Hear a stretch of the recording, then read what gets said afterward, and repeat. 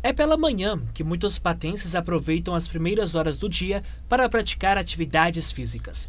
E um dos locais escolhidos é o Parque do Mocambo. Eu acho uma maravilha, eu acho que isso aqui é uma riqueza muito grande, né? Os patinhos enfeitam a, aqui a lagoa, é, é uma bênção de Deus. Para elas, os animais por aqui trazem inspiração e deixam o ambiente mais agradável. Eles nos alegram, a gente vê os passarinhos também, né, por todo lado. É, acho muito bom também. E quanto à alimentação para os animais, elas não arriscam em dar por conta própria. Alimentar não, a gente acha que a alimentação deve ser o próprio parque que sabe o que, que eles precisam de comer. Tem peixinhos também, a gente fica vendo. Com certeza, né? Porque a gente não sabe, a gente dá uma coisa às vezes que vai fazer mal para eles.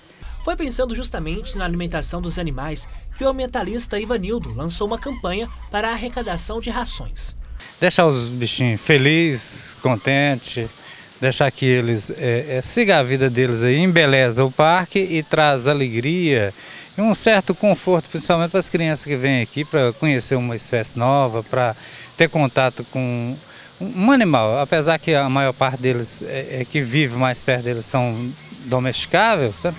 Mas eles já vivem na natureza sem nenhum tipo de dificuldade aqui, ninguém é, é, cria eles para um outro objetivo que não seja o embelezamento e a satisfação e a alegria das crianças vindo vir visitar esse parque aqui. Após a exibição na NTV, foram arrecadados cerca de 260 quilos de ração, que devem ser distribuídos entre as mais de 90 espécies no Parque do Mocambo. Acaba é, é, atingindo todos eles, que quando você vai alimentar o, os patos, os gansos, você deixa o farelinho, deixa o milho, aí vem outras espécies nativas mesmo, igual fogo-apagô, rolinha, pomba do bano, saracura, frango d'água, sabe? E acaba também se alimentando.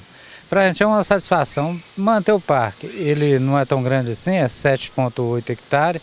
Então, muitas vezes, eu tenho uma dificuldade de se alimentar também os nativos e acaba de alguma forma é, é, contribuindo e ajudando para isso aqui. A quantidade recebida pode durar até os próximos meses, porém é preciso de mais doações.